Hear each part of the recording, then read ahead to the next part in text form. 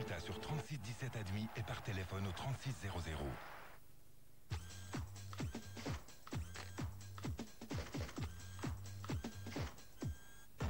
Ce soir, votre trilogie commence avec Smallville. C'est fou comme tu peux lui en vouloir après toutes ces années. Si le sentiment de vengeance devient une bombe à retardement.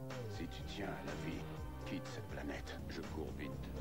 Si la fuite devient l'unique moyen de survie. Si jamais il m'est arrivé de vous faire du tort ou de vous énerver, je le regrette.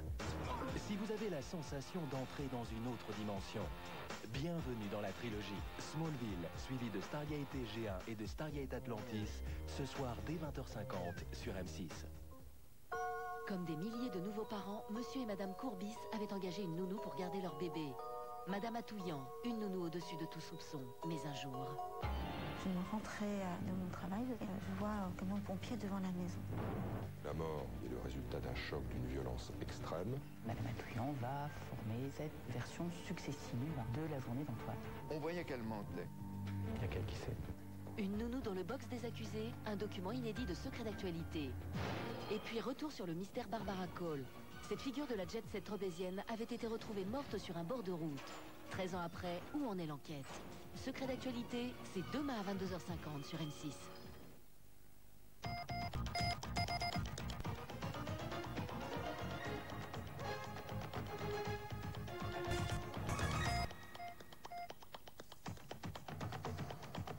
Les Bleus face au Brésil, l'affiche rêvée d'une finale, mais on n'en est pas encore là. Les supporters retiennent une nouvelle fois leur souffle. C'est parti pour le Tour de France, mais privé des favoris soupçonnés de dopage. Reportage de nos envoyés spéciaux. Des ballons et des fleurs blanches pour la petite Nathalie. Énormément d'émotions en Belgique lors des obsèques de la fillette. Des drapeaux français qui se mêlent aux brésiliens. Beaucoup de couleurs dans les rues de Francfort avant le quart de finale de ce soir. Et une ambiance conviviale, même si dans trois heures, il n'y aura qu'un vainqueur. Reportage Safet Rastoder et Geoffrey Marin-Joris. Il s'appelle Bachir et vient de Montpellier, mais ici tout le monde en est convaincu, c'est Ronaldo de Sao Paulo. Les Brésiliennes sont sous charme. Petite confidence d'avant-match. Ronaldo, euh, un petit pronostic pour ce soir, c'est quoi la, la disposition euh, tactique euh, du Brésil? 4-4-2, comme d'habitude. Et euh, ça va être un match très serré. Pour pactiser avec l'ennemi, certains changent de maillot, d'autres annoncent carrément la couleur. Ce sosie de Djibril Cissé n'a pas encore de place pour le stade, mais il a déjà tout prévu. En fait, on a un truc, c'est qu'on va se faire... Je vais me faire passer pour Cissé et on va rentrer dans le stade. Ça a déjà marché pour les matchs France-Ghana. Euh, pas Ghana, euh, Brésil. Eh, mais faut boiter, hein Ouais, je boite. En plus, ça tombe bien, je me suis fait opérer du genou aussi. Dans les rues de Francfort, chacun impressionne l'adversaire à sa manière. Béret, baguette de pain et camembert côté français contre Samba endiablé sur fond de guerre d'intox. Oui, on va gagner, c'est sûr. Ça. Ah ouais, c'est sûr, ouais. 3-0, comme en 98. Mais les tricolores ne l'entendent pas de cette oreille et ils le font savoir.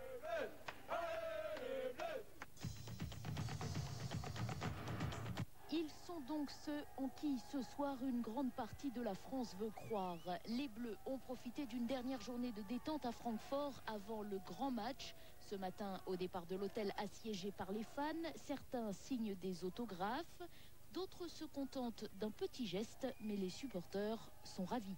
Ils étaient tous très sympas, ils sont venus, ils ont donné, on a trois enfants, nous, ils ont donné des autographes à tout le monde, euh, c'était vraiment très bien. Un des gens, il a dit à Ribéry, tu donnes un autographe au petit il m'en a donné un. Puis les Bleus partent se dégourdir les jambes en forêt. Apparemment, pour se mettre dans le rythme, rien ne vaut une demi-heure de marche en musique. Ce soir, sauf surprise, l'équipe de France devrait ressembler à celle qui a affronté l'Espagne, avec Thierry Henry en attaque, Zidane, Vieira et Ribéry en soutien. En face, pas de gros changements non plus. On devrait retrouver entre autres Ronaldo, Ronaldinho et Roberto Carlos. Alors les Bleus ont-ils des chances d'aller en demi-finale? France et Brésil se sont rencontrés trois fois en Coupe du Monde. Jusqu'à présent, le rapport de force reste favorable au tricolore. Deux victoires et une défaite. Ils rejoignent l'Allemagne et l'Italie en demi-finale de la Coupe du Monde. Les Portugais viennent de battre les Anglais. Un match très équilibré, 0-0 à la fin du temps réglementaire. Le Portugal s'impose finalement à l'issue de la terrible épreuve des tirs au but. En demi-finale, il affrontera soit la France, soit le Brésil.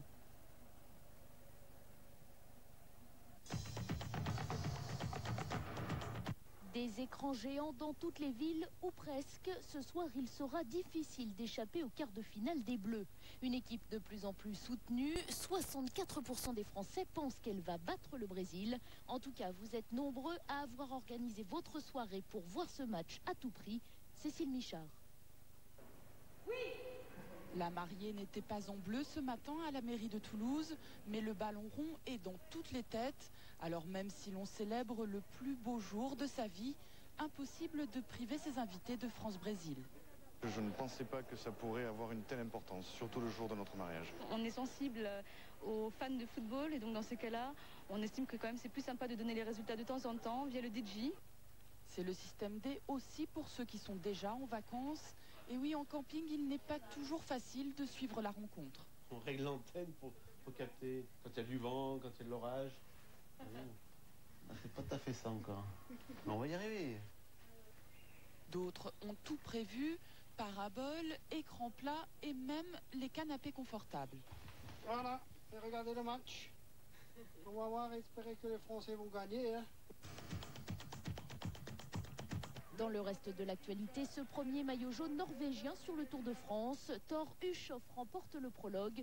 Cette édition 2006 promet d'être riche en surprises après l'exclusion de 14 coureurs soupçonnés de dopage, parmi lesquels des favoris. Reportage à Strasbourg de nos envoyés spéciaux Patrice Cerveau et Grégory Lafont. L'heure était à la détente aujourd'hui sur le Tour de France. Digérer l'exclusion des principaux favoris, comme si les départs des Ulrich, Basso ou Mancebo avaient assaini l'atmosphère et restaurer la confiance du public. Il faut quand même que ce soit une course propre, tout simplement. Hein. Et puis que bon, il y a que la, la, force des jarrets, la force euh, logique qui doit, qui doit compter dans tout ça. Ça donne la chance à d'autres coureurs qui, ont, qui sont en panne pour l'instant par rapport à des coureurs qui trichent. Quoi. Un tour sans favori, c'est inédit et cela permet à des coureurs sans palmarès d'espérer s'illustrer. Les équipes françaises attendaient ce renouveau depuis des années. On se moquait de nous, on disait qu'on ne savait pas s'entraîner, qu'on était à moitié des feignants. Et c'est sûr qu'on bah, ne pouvait rien dire sans preuve. Aujourd'hui, les preuves sont là. Ici à Strasbourg, personne n'est dupe. Il y a sans doute encore des tricheurs dans le peloton. L'espoir a tout de même refait surface. L'espoir d'assister cette année à un tour plus ouvert parce qu'un peu plus propre. Un visage en larmes, témoin de la très vive émotion ce matin à Liège lors des obsèques de Nathalie, la fillette de 10 ans violée et assassinée après avoir été enlevée avec sa demi-sœur Stacy. En tête du cortège, la mère de l'enfant marquée par la douleur et son père anéanti et chancelant qui a dû être soutenu par ses proches. À la demande de la famille, la cérémonie s'est déroulée dans la plus stricte intimité. À l'extérieur de l'église, la foule a applaudi, un signe de solidarité à l'égard des parents, une habitude prise lors de l'affaire du trou. C'est un ange qui est parti au ciel. Mais des atrocités pareilles, ça ne devait pas exister au monde, parce qu'un enfant, c'est quelque chose qui est sacré. Hommage vibrant également des camarades de classe de Nathalie qui avaient apporté des ballons et des peluches. Stacy, elle, sera inhumée lundi. Au moins 66 morts, 114 blessés et des dégâts très importants. Bilan d'un attentat à la voiture piégée ce matin à Sader City, quartier chiite de Bagdad. L'explosion a eu lieu près d'un marché. La majorité des victimes sont des civils. Non aux expulsions, le message de plusieurs milliers de personnes descendues dans les rues de Paris pour défendre les enfants scolarisés sans papier. Les rendez-vous pour examiner d'éventuelles régularisations commenceront mardi à la préfecture de police de Paris et dureront jusqu'au 13 août. Aucune allusion à une éventuelle candidature de Lionel Jospin, mais les socialistes ont ratifié leur projet pour la présidentielle. Et puis Ségolène Royal a coupé court à la rumeur de mariage avec son compagnon cet été. C'est très romantique, a-t-elle dit, mais ça n'est pas d'actualité. 37 degrés à Nîmes, 35 à Bordeaux, 30 à Lille. La France continue d'avoir chaud. Attention, une alerte canicule est toujours en vigueur, mais pour 9 départements et plus 4. L'Ardèche, le Vaucluse, les Bouches-du-Rhône, l'Hérault, le Rhône, Paris, les Hauts-de-Seine, le Val-de-Marne et la Seine-Saint-Denis. Alerte valable jusqu'à mercredi. Coup de chapeau à la série Desperate Housewives, le festival de télévision de Monte-Carlo l'a consacrée série comique la plus regardée dans le monde cette année, avec plus de 75 millions de téléspectateurs. Rappelons que vous pouvez suivre les aventures de ces quatre femmes au foyer chaque semaine sur M6.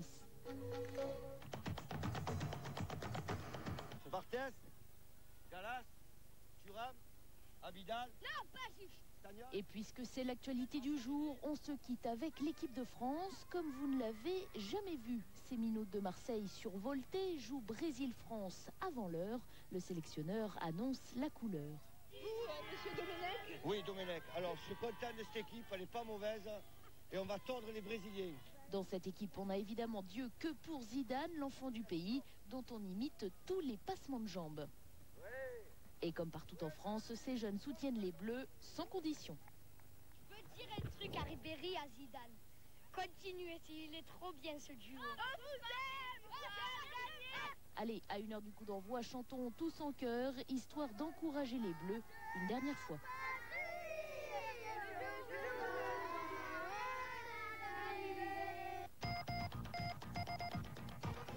L'actualité du 6 minutes au 0 892 681 616 et sur m6.fr.